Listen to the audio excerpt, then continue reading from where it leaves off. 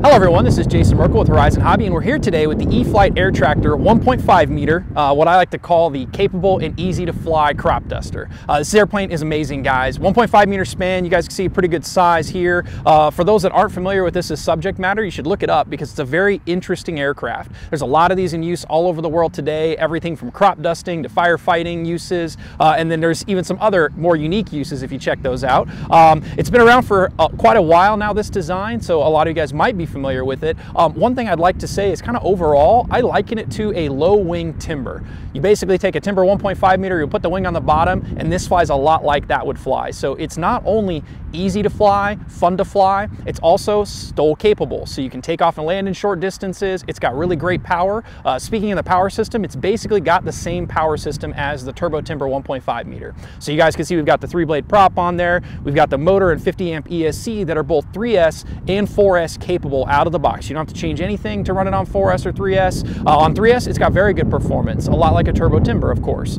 Uh, and then when you put a 4S in it, you've got unlimited vertical, more speed, more performance all around. Uh, I know a lot of guys are going to enjoy it on 3S. Uh, that said, today it's pretty windy, so we're actually flying a 4S 3200, and you can fly anything from a 3S 2200 or 4S 2200 all the way up to, um, again, 4S uh, uh, 3200 as well. So there's a big range of batteries in there. Most guys are going to already have those batteries from either flying Timbers or other models. And again, the performance on 4S is unbelievable. Uh, it does have AS3X. This is the bind and fly basic version, which is going to be great here on, in this kind of blustery conditions. Uh, it does also have the option to use Safe Select. If you use Safe Select, you need at least a six channel transmitter. It is a five channel aircraft because it does have functional slotted flaps. You guys can see those there in action.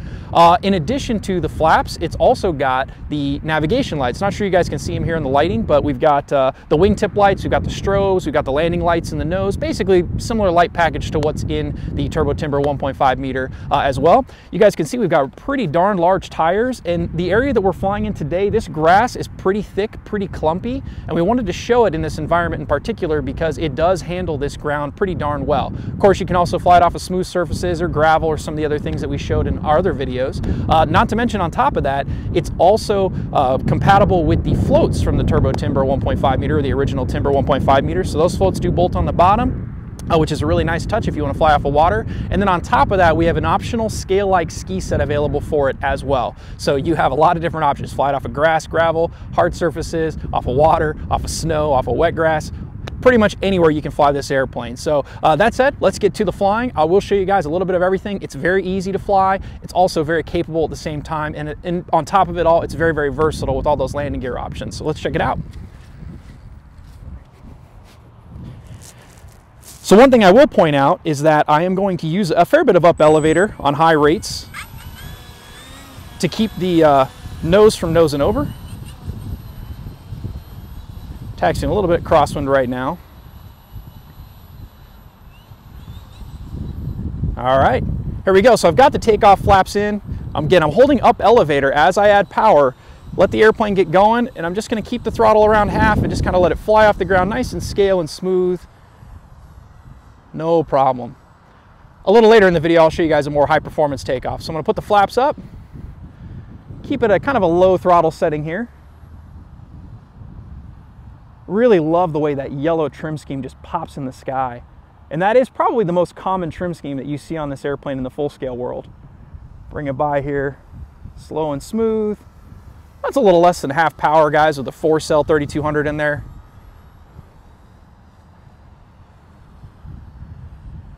Tight little turn here. Bring it back by the other way. Just a really sweet flying airplane, guys. Super easy, handling. If you've flown a timber in particular, you can easily fly and enjoy this airplane. I'm gonna add a little more power. I'm gonna go up here and do a little stall turn.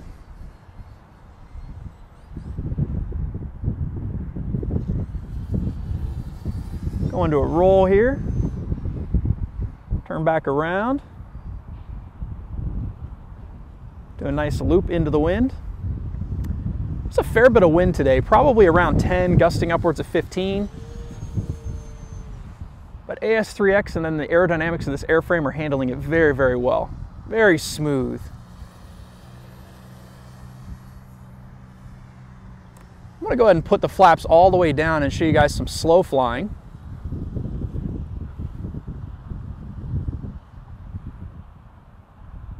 And it's amazing how slow this airplane will fly. And there's just no bad habits, guys. It doesn't do anything funky, it doesn't snap, it doesn't flick, it doesn't do any of the things that, that some airplanes can do. It's got this relatively constant chord, pretty much Hershey bar wing on it. We've got washout in the wingtips. Very, very well mannered, so I have no problem flying around slow and low here. Kind of doing a crop duster style.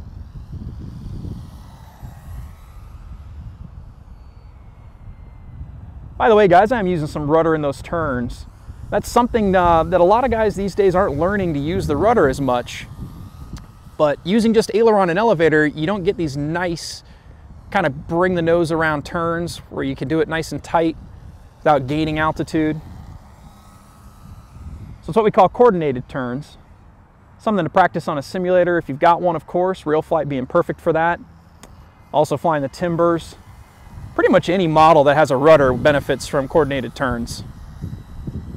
All right, I'm gonna put the flaps up and now I'm gonna add a lot more power and show you guys how much performance this has on the 4S battery. So I'm gonna bring it back by. I'm now at full throttle. It's pretty darn fast, even though it's a crop duster. It moves. Do rolls all day long.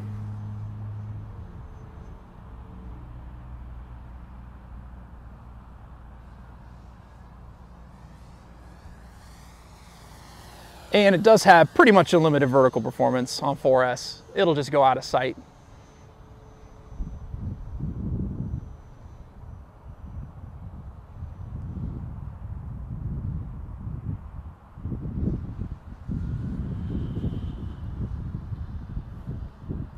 And then something else that I kind of found interesting earlier today flying this was uh, I like doing some knife edge with it. Does it pretty darn well actually. Not particularly scale, but you know, at the same time, an airplane like this is great because you can fly at scale like if you want. And then if, uh, you know, you either get bored or you want a little bit more performance, no problem, this airplane can do it.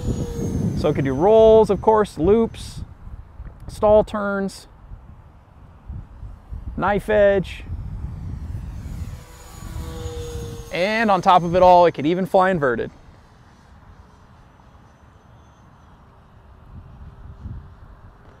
Now I know some guys watching this video are probably thinking to themselves, you know, that's not at all scale for an air tractor. And again, it's not, but you have the option to fly the airplane like this if you so choose. all right, now I'm gonna put the flaps down all the way. And I'm gonna show you guys a quick landing, and then I'm gonna show you a STOL takeoff. Show you just how much power and just how quickly this can get off the ground. So I've got basically full flaps, landing flaps, so to speak. Bring her into the wind. And again, this is not the nicest surface in the world, guys, but this airplane handles it no problem.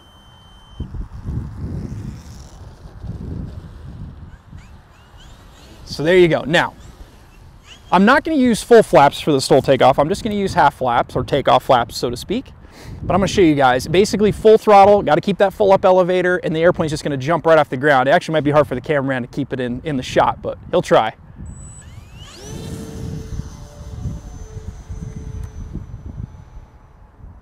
Unlimited vertical, no problem, right off of takeoff. Now I'm gonna put the flaps down and I'm gonna turn it into a very, very quick landing.